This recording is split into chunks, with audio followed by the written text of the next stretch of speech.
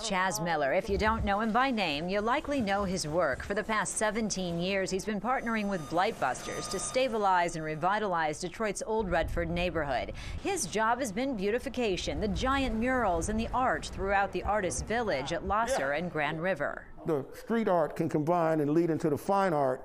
And then that's my goal is to take this to the next level. Much like the neighborhood itself, finally attracting millions of dollars in investment, like this long abandoned bank nicknamed the Obama Building because of Chazz's portrait on the outside. We're really starting to see dividends uh, for our blood, sweat, and tears over the last 32 years. And of course, working with Chazz for the last 17 has really taken this neighborhood to the next level.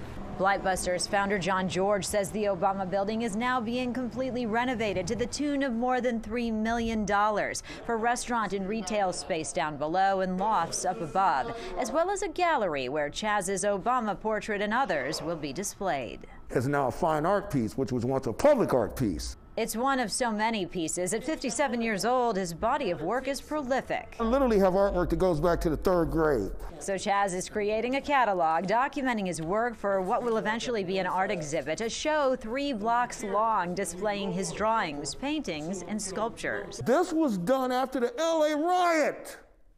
I forgot all about this. So much to see, whether it's the artwork he was commissioned to do for the Detroit Jazz Festival, or Motown's 40th anniversary, or his Jet Magazine series, or his own efforts to fight for social justice. The work goes on and on. This is called Spirits of Detroit.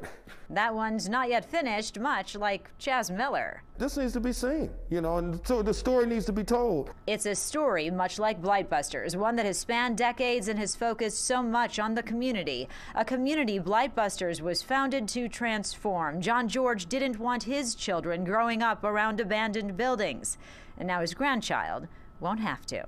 For my child's child to see this is uh, very emotional.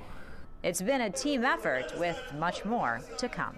To give is to receive. I really believe that. And that's why I feel like I just continuously blessed. Because of COVID, it's unclear just when we'll get to see this art exhibit. There could be a soft opening at the new Obama building still this fall, but it's likely we'll have to wait till spring and maybe even summer to take this trip down memory lane. In Old Redford, I'm Amy Lange, Fox 2 News.